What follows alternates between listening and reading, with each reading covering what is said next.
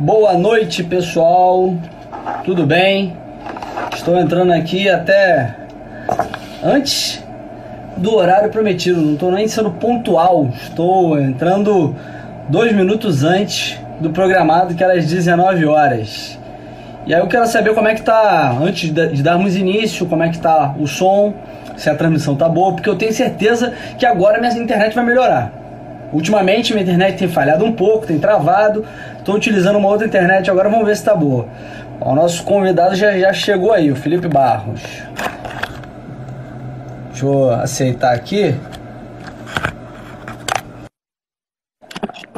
Só me fala aí, pessoal, se o áudio tá bom, se estão me ouvindo bem. Fala, grande! Viu, eu tava ouvindo você falar aqui, você tava usando a internet de escada antes? Rapaz, minha internet tá muito ruim. Eu não sei o que, que tá acontecendo, cara. Eu não sei se essa, essa coisa do, do coronavírus, essa, essa quarentena, o pessoal tá utilizando mais. Tá travando muito, cara. Eu fui fazer uma live ontem, ontem, foi ontem, com o Major Turugo. Ele me ligou, ele, pô, queria fazer uma live contigo. Eu, eu falei, vambora. Irmão, eu comecei a fazer a live com ele. Eu fiquei tentando decifrar o que ele tava falando. Eu pegava só algumas palavras.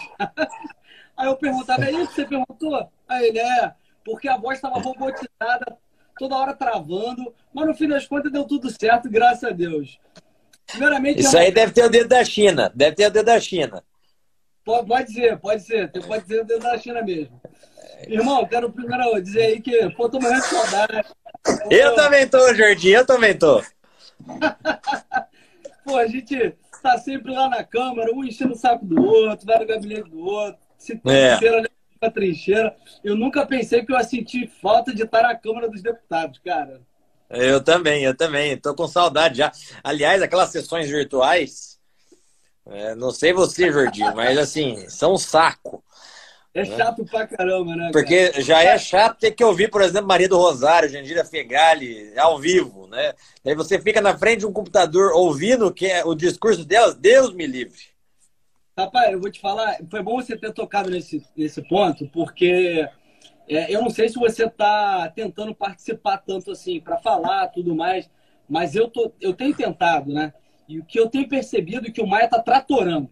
A gente vai falar sobre o Maia, né? a, gente a gente conversou agora há pouco por telefone, a gente vai falar sobre o Maia, as coisas que ele tem feito aí para passar de paladino da moralidade, mas já pegando então esse gancho, a gente já começa falando sobre isso que, que ele tem feito lá, cara? É, você sabe como é que são a, as nossas inscrições para falar na Câmara. Na Câmara a gente tem aquele procedimento. Você tem tanto o pequeno expediente, tem lá é, o dado como lido. Agora não está tendo isso. O que está tendo para o pessoal poder falar, para usar a palavra? É somente as discussões de projetos. Então tem um projeto lá inscrito.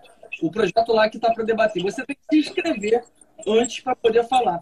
Cara, eu já me inscrevi umas seis vezes.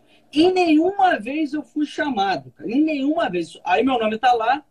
Ele às vezes pula teu nome. A única vez que eu consegui falar, eu falei duas vezes até agora nessas sessões uh, virtuais. A primeira sessão que eu falei foi na sessão do Congresso Nacional. Quem, quem estava presidindo não era ele, era o Marcos Pereira. Consegui falar e eu me inscrevi no dia anterior. Quando abriu, já me inscrevi. E agora também eu consegui o Vitor Hugo, ele me deixou falar pela liderança do governo, um minutinho só. E aí eu falei mais uma vez, nas duas vezes eu falei sobre a questão do fundo eleitoral destinado para o combate ao coronavírus, os projetos de lei que nós temos que colocar com essa finalidade, né? Esse momento que todos falam de dar o exemplo. E isso é o que muita gente tem é, percebido. O Maia, ele tem tratorado a gente, ele tem não deixado não permitido que a gente use a palavra, primeiro que é para poder estar tá fazendo a narrativa dele. Ele coloca oposição e centro para poder sentar mamona no governo, bater no governo. Sim. E aí não deixa a gente poder defender e também não deixa com que a gente possa estar tá falando a respeito desses projetos que são tão necessários nesse momento, porque podem falar que, ah, não, é a ordem de um trilhão que a gente tem que utilizar para o combate ao coronavírus. Se, cara, é a ordem de um trilhão, e aí quero dizer, então, que, por exemplo, 2, 3 bilhões não vai fazer diferença. Faz diferença sim. Faz diferença sim, senhor. E mais do que a diferença financeira, é a diferença do exemplo de cada um. Se o parlamento quer dar o exemplo, ele tem que também cortar na própria carne. Mas fala aí, irmãozinho. É, não, mas eu concordo 100% com você, Jordi, porque é o seguinte: todo mundo fala, todo mundo sabe que esse momento que a gente está vivendo aí do vírus chinês é, vai é, requerer é, esforços de todo mundo, em especial daqueles que estão no poder público. É, então, está todo mundo do, do, do, centro, da elite política brasileira, é, tentando é, colocar tudo nas costas do presidente Bolsonaro e, inclusive, o presidente da Câmara, o senhor Rodrigo Maia, que qualquer iniciativa do governo ele critica, qualquer fala de ministro ele critica, qualquer coisa que o Bolsonaro faça ele critica. Só que, até agora, o parlamento não deu o seu exemplo. O parlamento não fez a sua cota parte. Então, é, eu tenho defendido, junto com você é, e os nossos amigos deputados aí, que futuramente iremos para a Aliança, né, a gente tem aquele nosso projeto para destinar 100% do fundo eleitoral do fundo partidário para ações de combate ao coronavírus. Tentaram espalhar uma fake news aí esses dias, né? Dizendo que a gente tinha votado contra, sendo que isso não foi nem votado. Não foi votado porque o próprio presidente Rodrigo Maia ainda não pautou e não colocou isso em votação. Então, o, o parlamento, né, se quer criticar um outro poder, como por exemplo o poder executivo, também tem que dar o seu exemplo.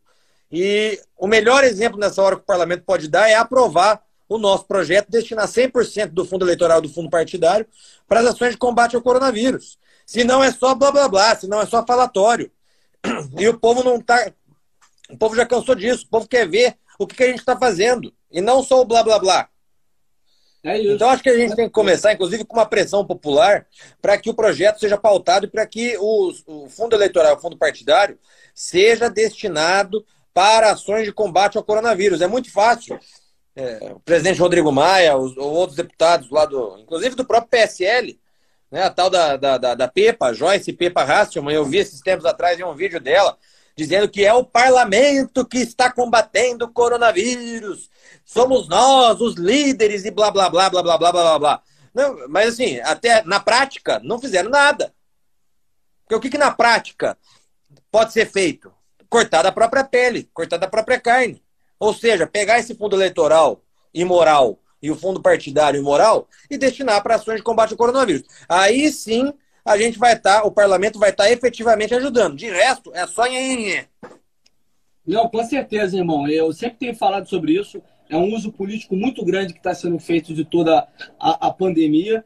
E essa postura de determinados setores do parlamento demonstra isso. Você muito bem disse aí da Pepa, em que ela estava dizendo, eu vi essa entrevista dela, acho que foi no UOL, em que ela falava que o parlamento está levando nas costas aí o, o, Brasil, nós estamos conseguindo fazer as aprovações das medidas para fazer enfrentamento dessa crise. Cara, eu não, eu não sei onde que essa mulher vive. Eu não sei se realmente ela acredita nessa mentira dela, ou eu não sei se ela só quer uma, montar uma narrativa para isso. Mas ó, a Constança está falando aqui comigo. Assim, depois, depois é, me mandou uma mensagem aqui também. É. Né? É. É. é porque quem não sabe, amanhã também nós estaremos ou não estaríamos, não sei, né, fazendo uma live é, para o UOL, eu e o Felipe Barros e outros deputados, para falar a respeito de toda essa situação que está acontecendo. Mas voltando ao uso político, a, a, Joyce ela tem feito muito isso, cara, é de usar é, de demagogia, de populismo nesse momento. Você viu aquele projeto que ela pautou? Um projeto que é, tratava do seguinte: as empresas, aliás, as pessoas devedoras, né, nesse momento agora, não serão mais inscritas nos cadastros de devedores, ou seja, SPC, Serasa, as pessoas, por conta desse momento, não seriam mais inscritas nesses cadastros é, de, de, devedores. Aí você pode parar para pensar, nossa, não, mas é bom para esse momento. Cara, pelo amor de Deus, é, isso é, é, é, populismo barato. Porque desde o momento que a pessoa está deixando de ser inscrita no, no SPC e no Serasa, o que, que vai acontecer? As empresas, as instituições financeiras que concedem crédito, elas vão colocar juros mais altos, elas vão ter muito mais restrição para conceder crédito, porque ela não sabe quem que é o bom pagador e não sabe quem que é o mau pagador. As lojas também vão vender menos por conta disso, porque elas vão ter receio. O, o, o esse cadastro ele serve para que haja uma, uma certa. É, um filtro, né? Pra... Claro. Uma transparência. no mercado e a gente saiba quem são os bons pagadores e os maus pagadores. O que, que tem que acontecer? É fazer com que essas instituições elas tenham melhores condições para poder estar tá fazendo é, é, é, esse financiamento, para poder estar sanando essas dívidas dessas pessoas, dar, proporcionar melhores condições para elas e não é, colocar de forma arbitrária que não pode mais inscrever ninguém.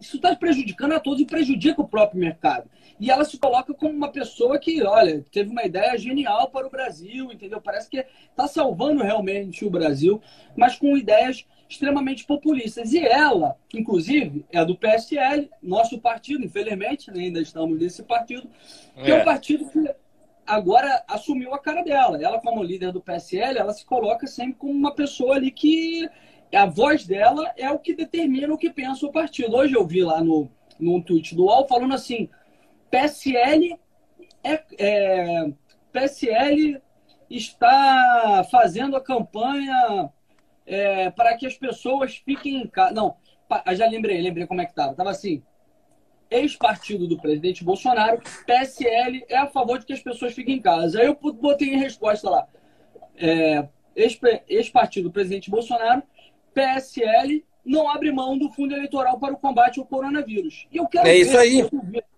Pergunte para cada um dos parlamentares do PSL, do PT, que são os dois maiores partidos que recebem esse fundo, quais deles são a favor do combate, do, da destinação do fundo eleitoral para o coronavírus. Eu estou falando até o fundo eleitoral, não estou nem falando do fundo partidário.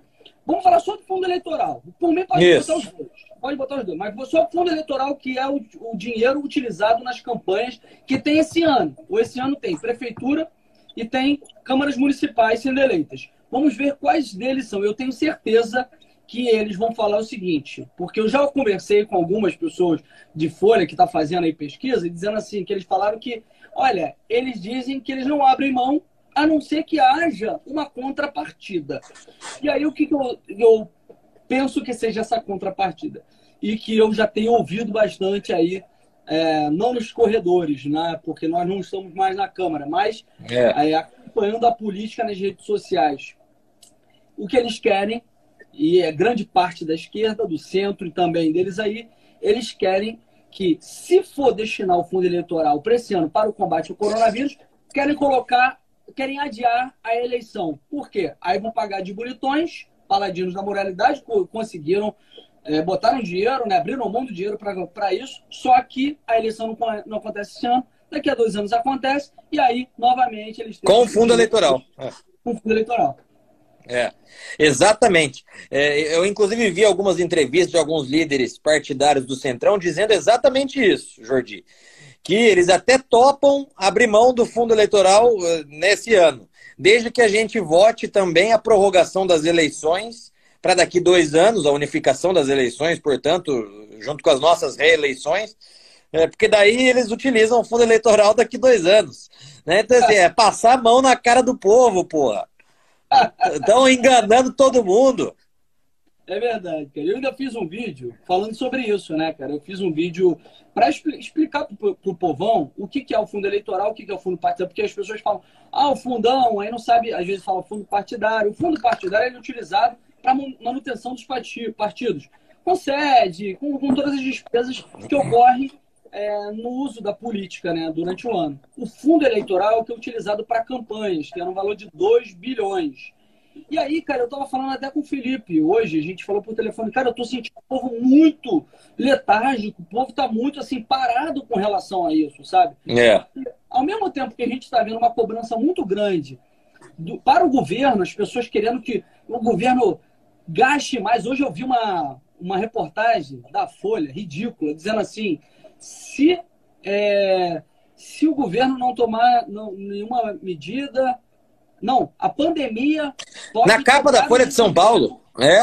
Na, a pandemia pode do, até dobrar o desemprego se não for feito nada. Aí depois você vai ler lá o que está escrito após o título, aí diz o seguinte: não, que o, os programas de transferência de renda e é, os apoios a, a, aos empresários para manutenção dos pós-trabalhos tem que ser mais contundente. Gente, esses caras, eles não sabem. Eles, eu tenho certeza que eles não pensam que dinheiro dá em árvore.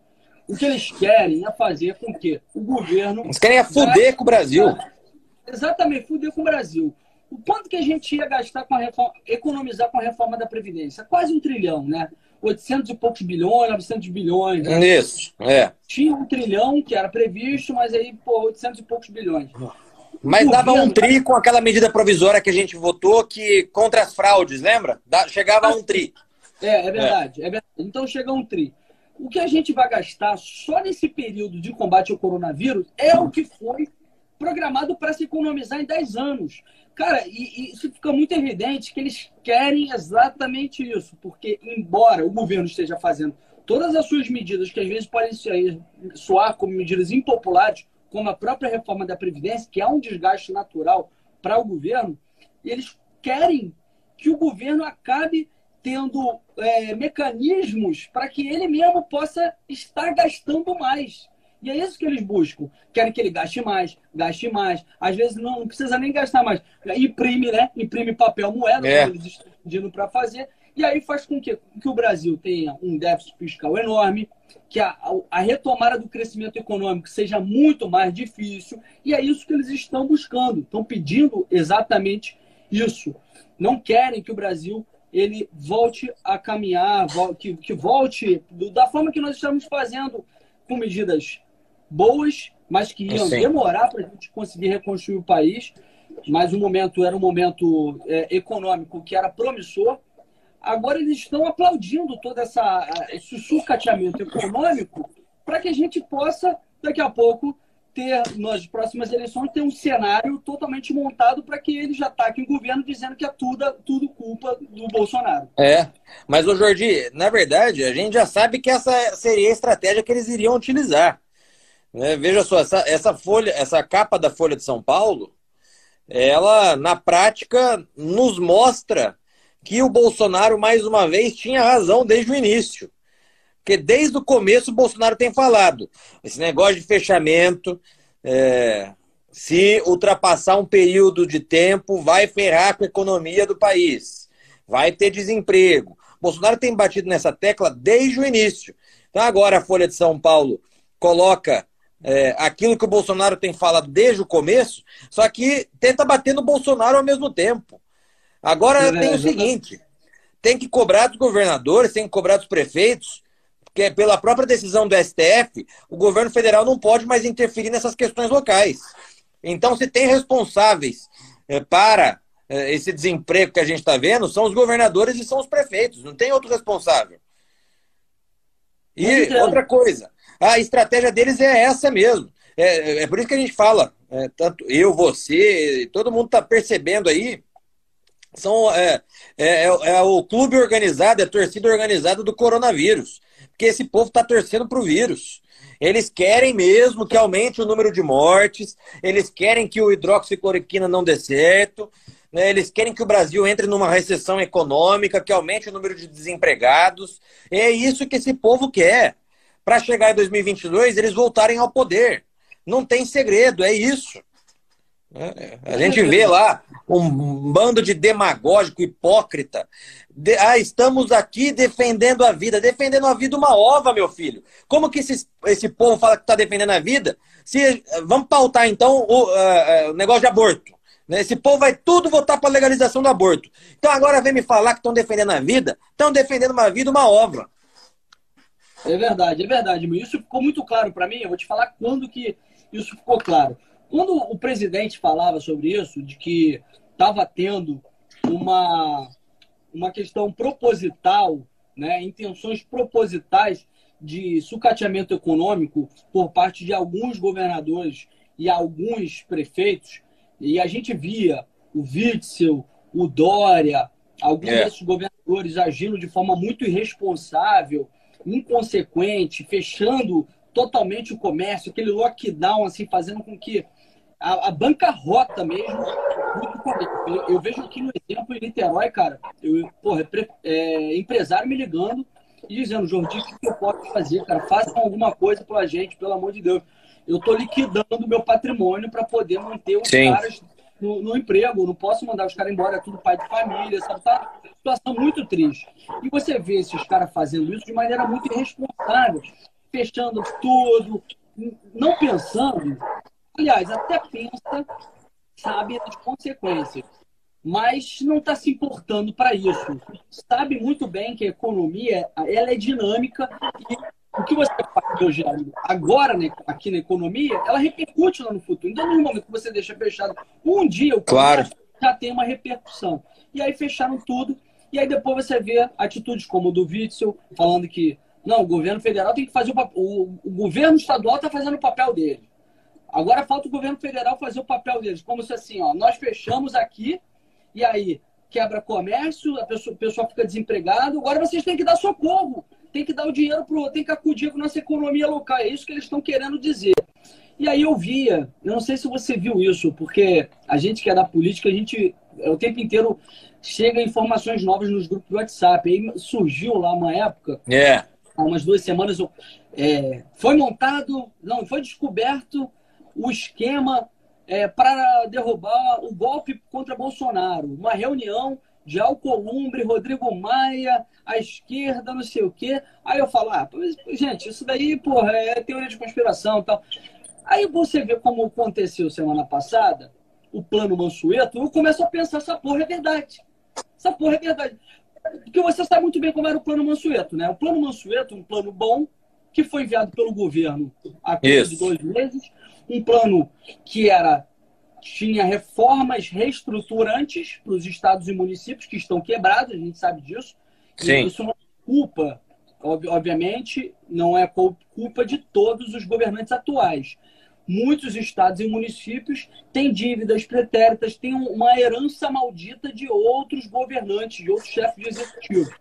E aí você tem uma situação fiscal que ela tá assim, ela tá uma verdadeira bola de neve, em que as pessoas não conseguem fazer nada para conseguir é, equalizar essa situação. Porque você tem que fazer gastos. Aí você tem uma folha de pagamento enorme e você tem diversas despesas, ao mesmo tempo que você tem que conter os seus gastos e você acaba fazendo com que haja uma verdadeira bola de neve nos estados e municípios. E a gente sabe muito bem como é que funciona. Só que existem prefeitos e governadores que são verdadeiros irresponsáveis, que continuam agindo é, sem compromisso com a lei de responsabilidade fiscal, que continuam endividando deveres demasiadamente os, seu, os seus entes federativos.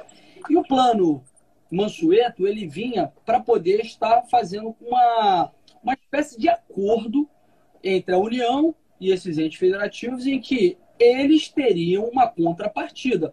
O governo federal, ele daria é, uma, uma parcela de, de mais é, transferências né, de, por parte da, da União para esses municípios e estados.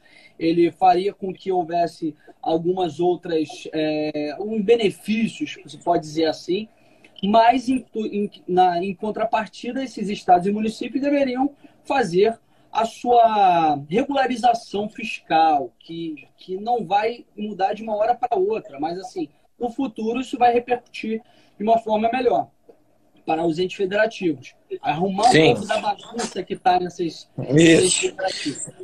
E aí, é. a União teria um gasto de 93 bilhões com isso, tá? 93 bilhões. Naquela época, que era um momento em que a gente não estava nessa crise, era uma situação até mais confortável, não quiseram aprovar o plano. Aí o que, que o Centrão fez? Fizeram um verdadeiro Frankenstein com o plano Mansueto. Desfiguraram todo o plano Mansueto, tiraram essa parte de reestruturação, essa parte reestruturante de contrapartidas que haveria por parte de estados e municípios, e aí fizeram somente o plano emergencial. E é. um gasto muito maior por parte da União, primeiro de tudo. Olha que olha, irresponsabilidade que haveria por parte de estados e municípios, e sobretudo municípios. Por quê? Porque esse ano é um ano de eleição. Então, eles não queriam um plano Mansueto como havia antes, em que teria que ter uma contenção de gastos. Eles querem gastar cada vez mais esse ano, porque é por causa do ano de eleição. Então, aumentaram a capacidade de endividamento por parte dos municípios e estados, é, suspenderam as dívidas de estados e municípios com a União e aumentaram ainda mais o pacote de transferência por parte da União. O gasto seria o dobro, 180 bilhões. Então você vê como que esse momento de crise, de pandemia, está sendo utilizado para fazer com que haja uma situação de colapso econômico para colocar a faca no pescoço do presidente e olha, nós é. temos que acudir os estados e os municípios, porque eles vão quebrar, eles vão quebrar. Ou seja, se houvesse uma responsabilidade de fazer uma reestruturação fiscal e acudir os estados e municípios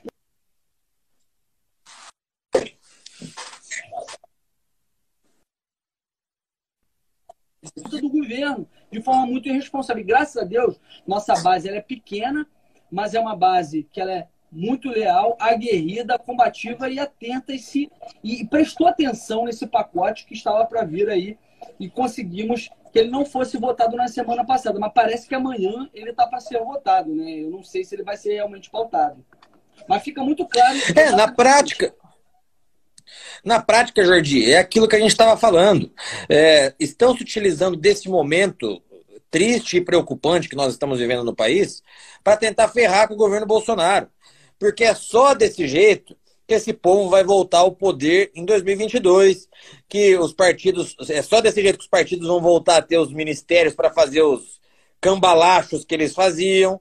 Né? Então, esse povo está doido para enfraquecer o, o, governo Bolsonaro, para quebrar a economia do país, para quebrar o governo federal, é, fazendo com que eles voltem no, ao poder em 2022. É por isso que eu insisto que é, é, nós temos, população, aquelas pessoas que estão nos acompanhando aqui na live, a gente tem que começar uma pressão popular para o presidente Rodrigo Maia pautar o projeto né, de minha autoria, de autoria do deputado Jordi, de, dos nossos colegas do Aliança, o PL 663 de 2020, que é para acabar com o fundo eleitoral e o fundo partidário esse ano, para que isso seja destinado às ações de combate ao coronavírus. Eu quero ver, é uma eleição na raça, né, Jordi?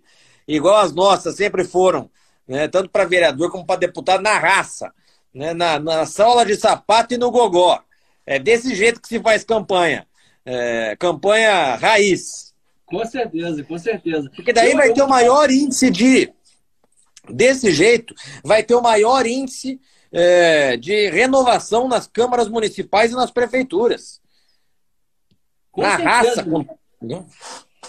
com certeza, eu vou te falar, eu me sinto muito seguro, me sinto muito seguro para fazer campanha sem fundo eleitoral. Sempre nunca utilizei, nunca utilizei. Gastei do meu bolso. Na minha primeira campanha de vereador, eu acho que a gente teve uma campanha até muito parecida, né?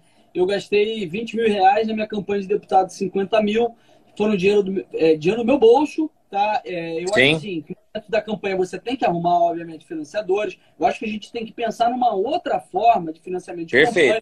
Porque desde o momento que acabaram com o financiamento privado por parte de pessoas jurídicas, você abriu essa possibilidade, na verdade, é, instituíram o, o financiamento público. E, e, hoje você, por, por exemplo, para você ter um financiador, o financiador pessoa física é só até 10% do que ele declara no imposto de renda. Então, cara, óbvio que fica, fica inviável. A gente tem que pensar numa outra forma de se fazer, de financiar a campanha. De repente, a pessoa jurídica ela tem que ter uma, uma, uma declaração, aliás, uma declaração, uma transferência, uma, um financiamento menor, não pode ter ser essa coisa bilionária, milionária que eram feitos nas outras campanhas. Mas é fato que o fundo eleitoral ele não agrada a, a 99,99% da população. O 0,0001% que, a, que, a, que agrada é o, essa classe política que é a favor do financiamento público. Mas aí você vê, eu sou muito tranquilo para fazer campanha sem recurso. Aqui em Niterói eu estou com dois partidos que vão estar sendo o, o, o local, né? Você pode dizer assim, é, acolhedor dos nossos, nossos candidatos para disputar a campanha. Eu tenho certeza que se a eleição for disputada aqui sem fundo eleitoral para todos, a, o nosso grupo sai assim, vantagem, assim, dá dano de braçada. Você pode ter certeza. Por quê? Nós temos redes sociais, nós já nos organizamos com isso. As redes sociais, elas democratizaram as eleições e a política, a forma de fazer campanha, ela foi democratizada dessa forma. E essa galera aí, da galera da antiga política, que até utiliza as redes sociais, eles sabem que eles não têm o voto de opinião. Então eles usam os fundos, usam recurso público, para poder estar, tá, de certa forma, comprando o voto. Eu tenho certeza, faça uma pesquisa. Vamos falar, eu quero muito, cara, eu queria muito que a população se mobilizasse em torno disso. Faça uma pesquisa. Pergunta para os deputados, para os políticos em geral, né? Porque esse ano é ano de vereadores e é. prefeitos. Perguntem quais são favoráveis a, a, a, disputar a eleição sem o fundo. Disputar. Porque se você for perguntar para a pessoa se ele é favorável a utilizar o fundo eleitoral para o combate ao coronavírus, ele pode até falar que é a favor, mas ele vai falar, não, mas eu acho também que a gente tem que adiar a eleição para 2020. Pergunte se ele é favorável que a eleição ocorrendo esse ano, tendo que ocorrer esse ano, se ele é favorável a que o fundo eleitoral seja utilizado para o combate ao coronavírus. Pergunte para ele e peça para ele fazer, de repente, lá uma declaração pública de que ele realmente é favorável a isso. Eu tenho certeza que muitas máscaras vão cair.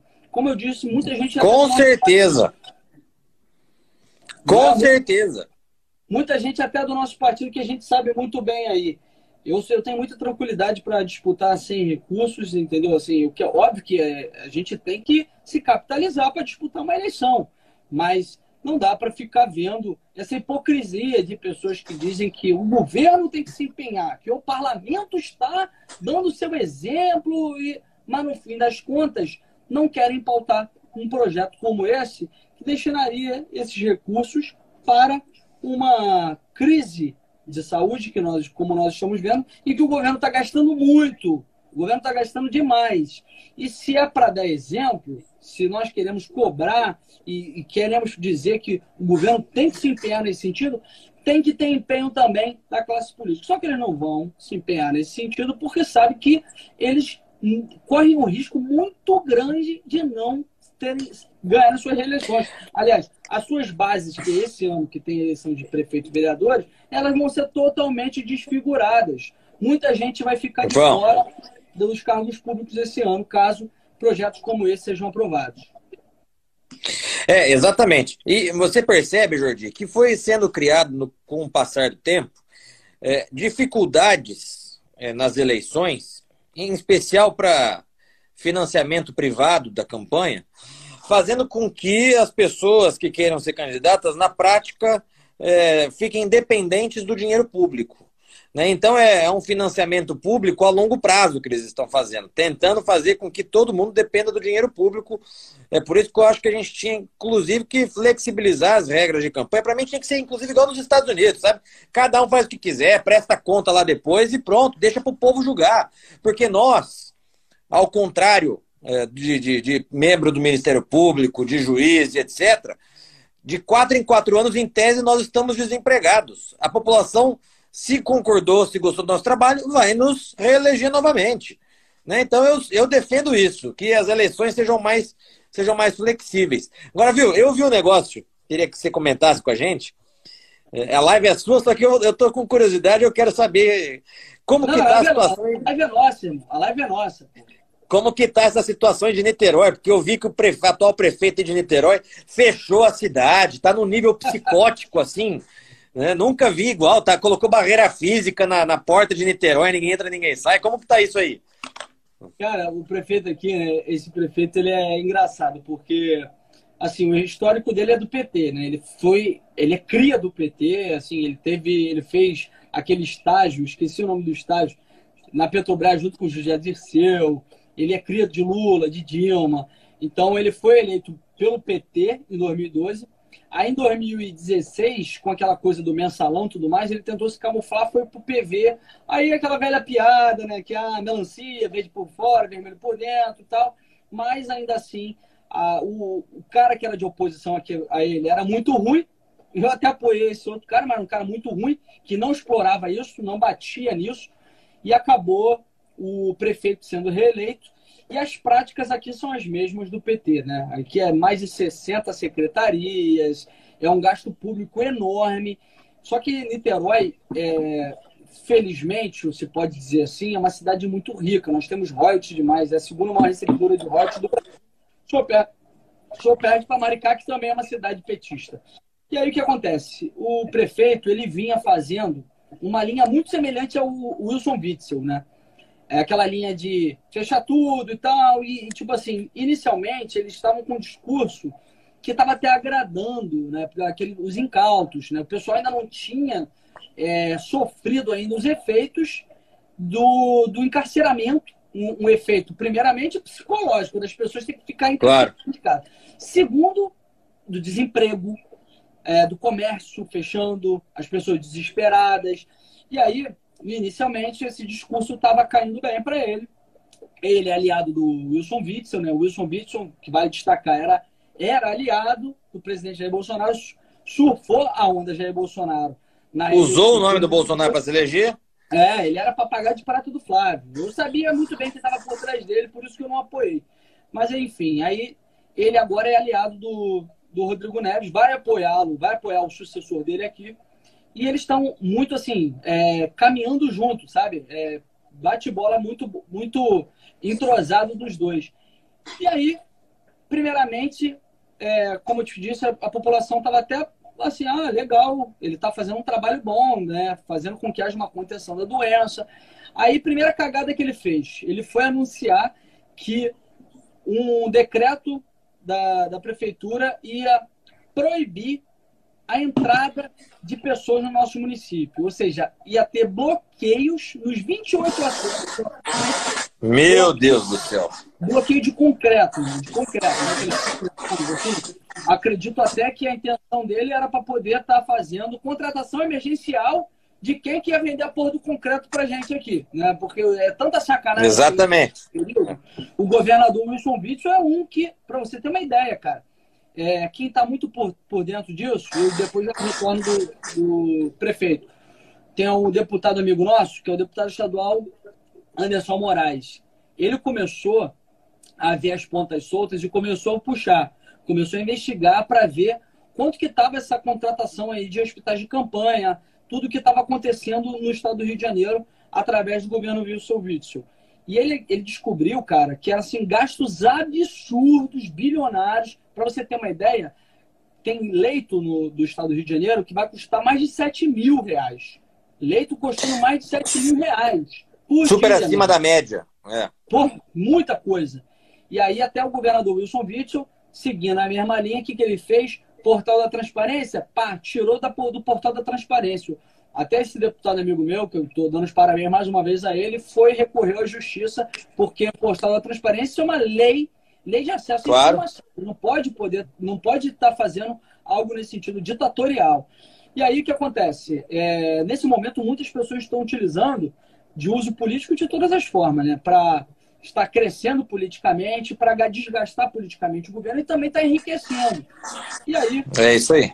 Diante desse momento que nós vimos em que o prefeito queria fechar os acessos da cidade com blocos de concreto, eu fui nas redes sociais, já falei, pô, era um absurdo que a gente ia recorrer à justiça. O prefeito apanhou igual a cachorro. E apanhou igual a cachorro. Aí, conclusão, no outro dia ele voltou atrás, disse que não, que não ia botar concreto e tal, mas aí ia reduzir em 30% a frota de ônibus intermunicipais, ia proibir táxi de outros municípios e tal, mas beleza, dos males, o menor. Agora, recentemente, ele tomou uma outra decisão.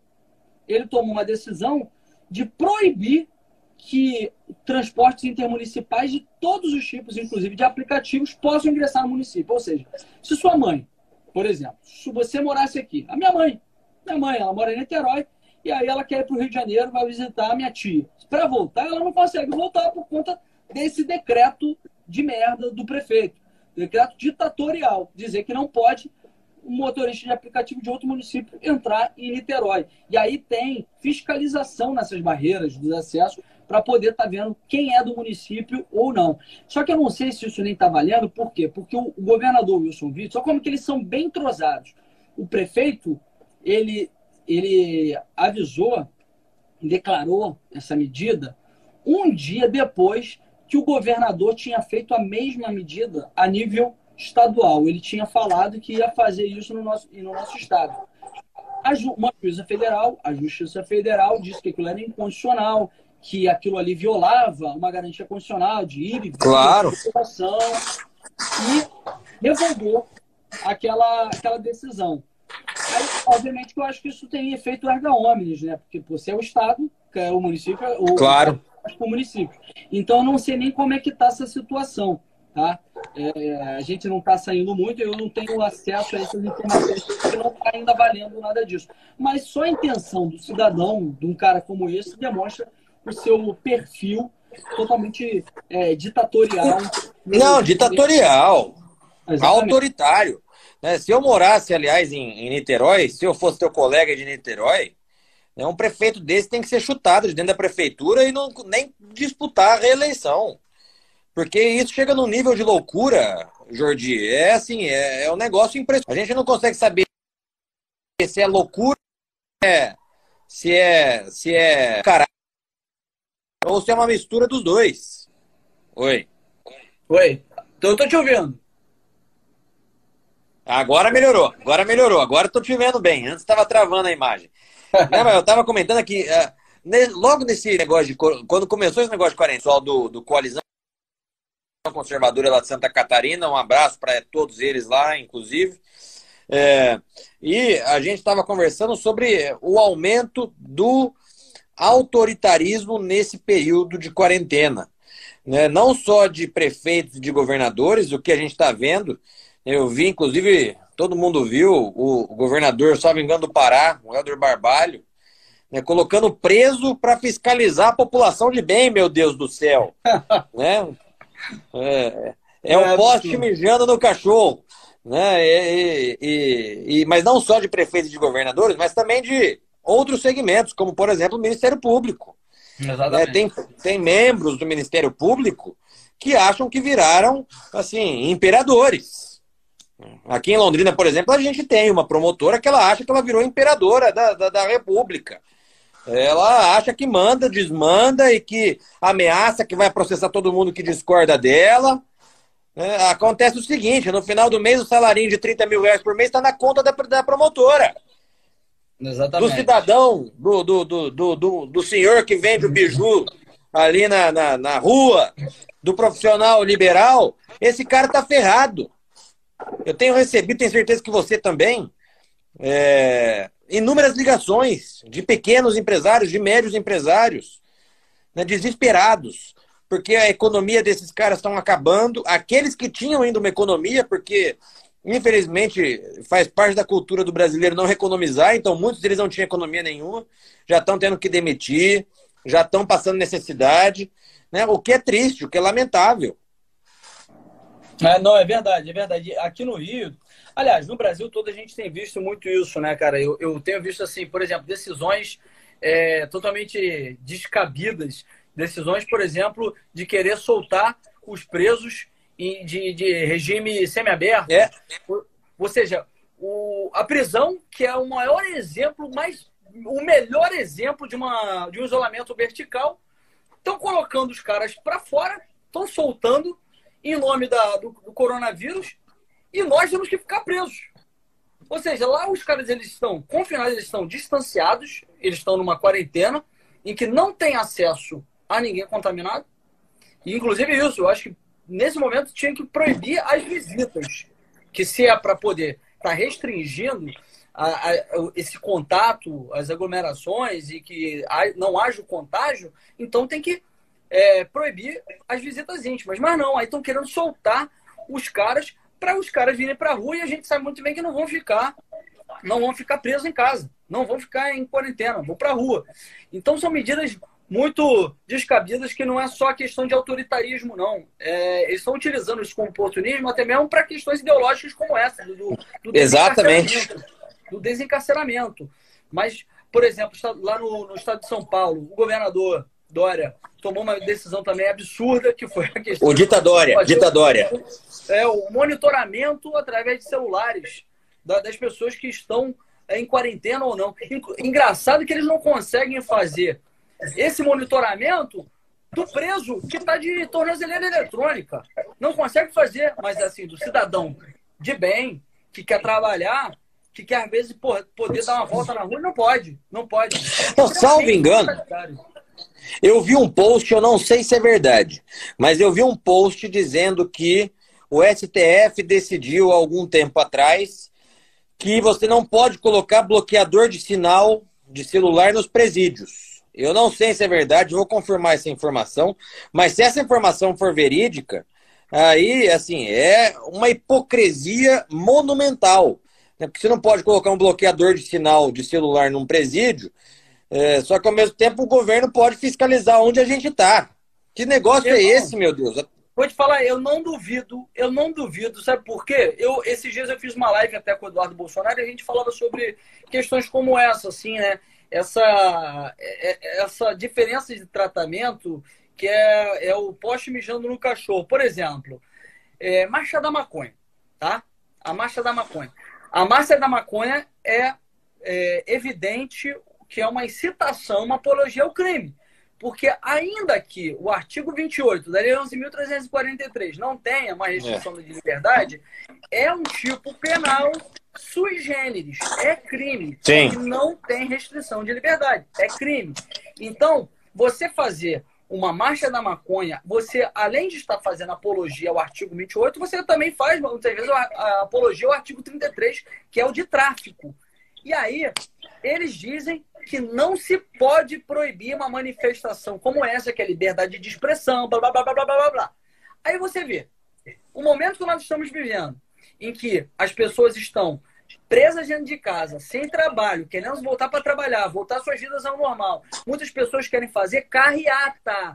Carreata, que não tem aglomeração. Carreata. Exatamente. Carreata você mantém uma distância, cada um dentro do seu carro, fazer carreata para poder estar protestando, pedindo a abertura do comércio, a abertura, o fim dessa, desse lockdown. E muitos tribunais, muitos é, acredita que foram TJ e vários outros. Eu acho que o STF até se posicionou que é proibido isso. É contrário a isso.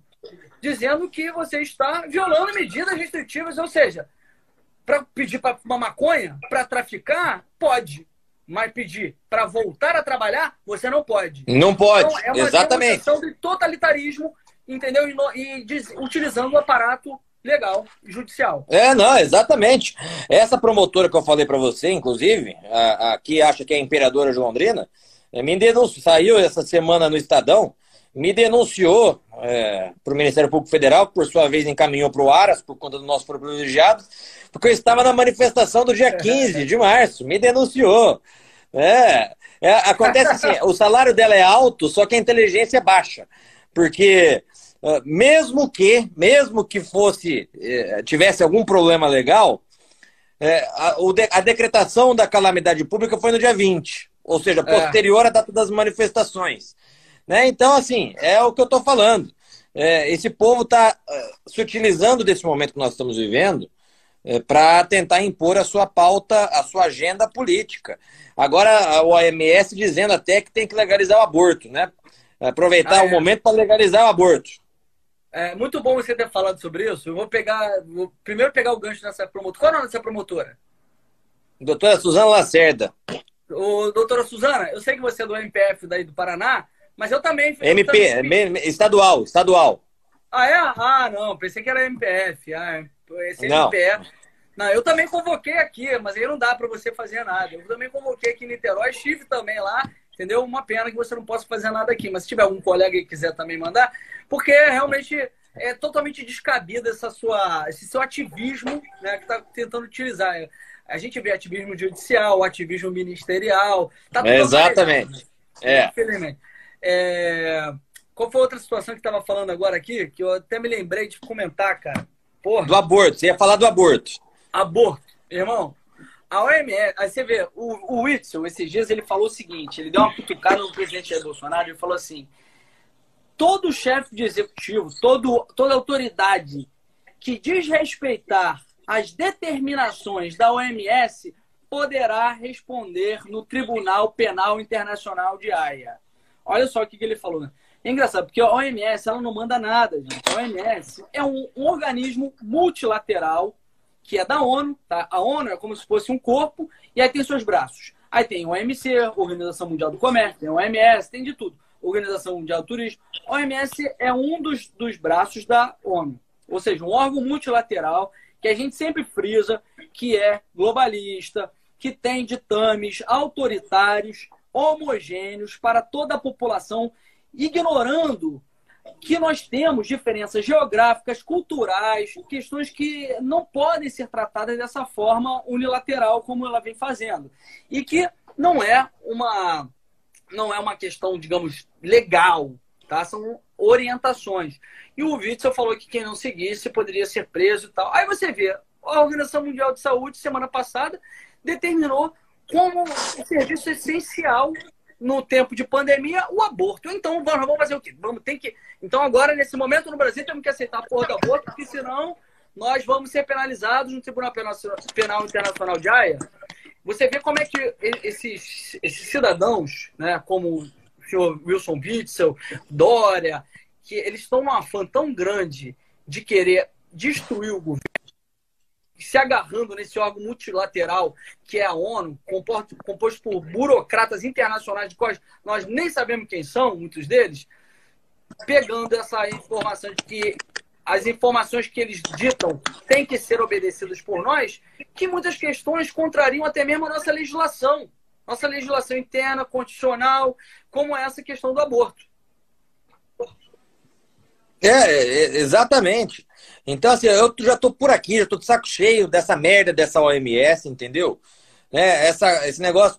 Daí o pessoal fica falando: ah, mas vocês estão defendendo que todo mundo vá para as ruas, vocês são irresponsáveis. Não, ninguém está defendendo isso, não. Estou defendendo o seguinte: tem que reabrir o comércio, sim, com todo o cuidado do mundo, todo mundo coloca máscara, álcool gel na mão, como já está sendo feito nos mercados. Os mercados estão abertos aí, Jordi. Aqui está aberto mercado, farmácia. Por que, que o resto do comércio não pode ficar aberto sob os mesmos critérios que os mercados estão fazendo? Né? Então é isso que eu defendo. Já, já deu, já encheu o saco esse negócio a, a economia do país já já, já já não, já está é, em frangalhos. A gente precisa reagir. Com certeza, com certeza, irmão. E eu acho assim que é, a gente vai ser fortalecido, irmão. Eu falei esses dias com ontem né, com uma jovem Torugo que eu achava assim que tudo isso que tem acontecido aí é, tem sido feito para poder estar tá atacando o governo, fazendo com que a gente tenha cada vez mais é, desgaste, gastos financeiros, mas Jair Bolsonaro sempre saiu vitorioso de todas as, as cruzadas que ele se colocou na vida. Ele era um deputado de baixo clero que venceu tudo e todos. Venceu a, a, mídia que sempre o atacou, venceu a, a exclusão, isolamento que o Congresso Nacional é, impunha a, ele por ele ser alguém politicamente incorreto venceu uma eleição tomando uma facada e sem ter recursos. Eu tenho certeza que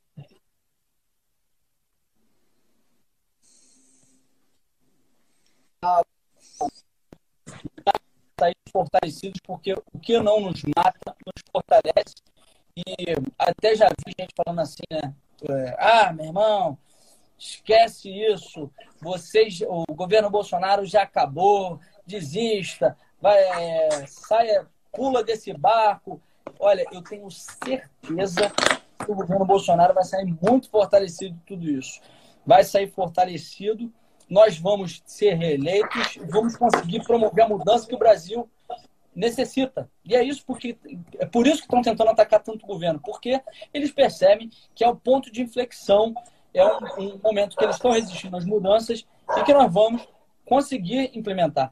Ainda que ainda que o governo Bolsonaro estivesse afundando, eu afundaria junto com muita tranquilidade, porque. É isso aí. Valores, não vendo meus valores, não vendo o meu caráter, sou leal ao, ao presidente, ao, ao projeto Bolsonaro e ao Brasil. Exatamente isso. É se posicionar ao lado do Bolsonaro é se posicionar ao lado do Brasil, Jordi. É a última oportunidade que a gente tem de mudar esse país. Né? É a última oportunidade, não tem outra oportunidade, não. É, eu fico assim, é, com uma raiva quando eu vejo, por exemplo, João Dória, Witzel, porque esse povo usou o nome do Bolsonaro para se eleger e agora eles viram as costas. Fizeram isso, inclusive, é, em um projeto, em nome de um projeto pessoal de poder, né, que eles querem concorrer à, eleição em 2022. É, fizeram, aliás, igualzinho os deputados do PSL é, que ficaram lá junto com o presidente Bivar, presidente do partido, o deputado federal Bivar, é, trocaram Bolsonaro por dinheiro, por fundo partidário e fundo eleitoral, é, porque na prática é isso. Eles viraram, apunhalaram o presidente Jair Bolsonaro é, pelas costas. É, então, assim, a última oportunidade que nós temos de mudar o Brasil é Bolsonaro é, e é a última mesmo. Então, eu tô junto com você, tô junto com o Bolsonaro e é isso. Com certeza, irmão, com certeza. Irmão, a gente está é, caminhando para o fim aqui, né? Tá, falta cinco minutos, eu acho que já vai encerrar. Na verdade, faltam três minutos. Vamos para as nossas considerações finais e eu quero te agradecer aí imensamente por estar tá fazendo essa live. Pô, é, quando eu falo que eu tô com saudade, não é, é sacanagem, não. É porque, meu irmão, você sabe que eu sou seu amigo pra caramba. Nós somos aí parceiros demais no Congresso. É, tenho muitos parceiros. Não de hoje, né? De muito tempo atrás, né, Jordi? Com certeza, né? Desde a época de vereador, a gente tem uma carreira que caminhou junto aí, temos uma experiência muito parecida. E eu quero te agradecer pela oportunidade da gente bater esse papo e pedir que os meus seguidores, já que não seguem, eu tenho certeza que a maioria já segue, sigam aí Felipe Barros, que é um cara que é sensacional, faz um trabalho magnífico e tem muito a acrescentar e agregar ao Brasil. Tenho certeza que, cara, você tem um futuro promissor, irmão. Tamo junto, valeu? Tamo junto, você sabe que assim, o meu carinho, o meu amor hétero por você são enormes. É. A gente é amigo não só de hoje, né, Jordi? Da época que você era vereador lá em Niterói, eu vereador aqui em Londrina, a gente sempre com as mesmas pautas, na defesa da Guarda Municipal, é, o pessoal da, da contra-ideologia de gênero. Né? Então, um grande abraço para você, meu irmão. Obrigado por ter me convidado. Estou à sua disposição também, estou com saudade. Quero aproveitar aqui, viu, Jordi? Mandar um abraço para Rubenita Lessa, nossa amiga lá do Piauí, pré-candidata a vereadora lá né, nossa parceira de trincheiras aí, e também é, para o nosso amigo, que nós já fomos várias vezes, Vinícius Ferraz, do Parlatório Livre. Está na hora do Parlatório Livre voltar a organizar os eventos aí. Valeu, meu irmão. Obrigado, tamo junto. E obrigado a todo mundo que aqui ficou acompanhando nosso bate-papo. Valeu, valeu, irmão. Valeu, pessoal. Tamo junto. Tá? Sigam aí Felipe Barros e feliz Páscoa para todos nós. Valeu, pessoal. Valeu.